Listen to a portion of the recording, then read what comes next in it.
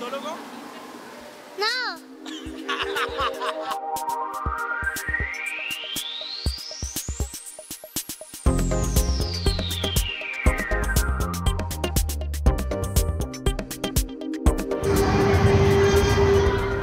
Al igual que la visita al médico, el odontólogo también genera temor ante los niños. Pero para evitar eso, es necesario hacerle entender al menor lo necesario que es el especialista y las pruebas que él realiza. Las prácticas dentales suelen asustar a los niños por ser experiencias nuevas o poco frecuentes. Además, sabemos que muchas de las curaciones o prácticas dentales implican dolor o malestar físico. Pero ¿qué hacer para que los niños no sufran de tanto temor? El ortodoncista Javid Barjún desarrolló una estrategia para lograrlo. La importancia eh, más relevante en estos casos es darle confianza a los niños. Y la confianza se da haciendo un ambiente más dinámico, un ambiente juvenil, un ambiente que los niños se puedan divertir a ir al odontólogo, ir al ortodoncista. En este caso, aquí con todos los niños viendo a los dinosaurios, montando los braques en los dinosaurios, los niños van a crear confianza, a tener confianza y eliminar todos los miedos.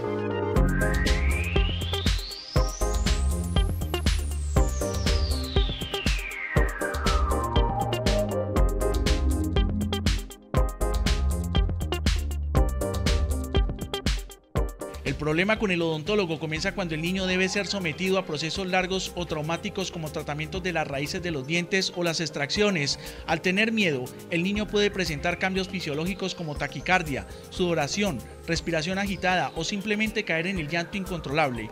Por eso, un lugar adecuado es muy importante. Tener un lugar adecuado es supremamente importante porque anteriormente los adultos eh, tenían su sala de espera y a los niños también les colocaban en la misma sala de espera que los niños, que los adultos.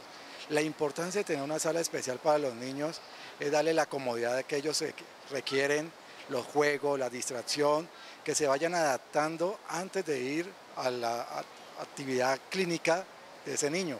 Entonces los vamos poco a poco adaptando en la sala de espera, eh, se van eh, jugando, se van recreando y van haciendo una adaptación inconsciente. La mejor forma de no generar el miedo al odontólogo es la prevención, para lo cual es necesario llevar al niño al especialista desde que le salen los primeros dientes.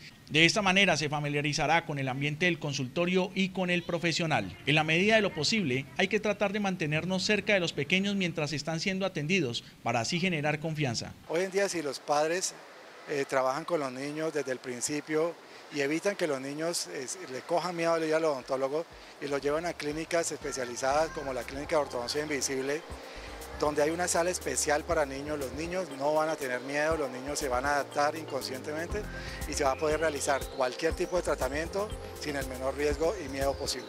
Recuerde la importancia de mantener una buena salud oral desde el principio. Escoja el lugar adecuado para que ellos se sientan como en familia y que el miedo al especialista desaparezca.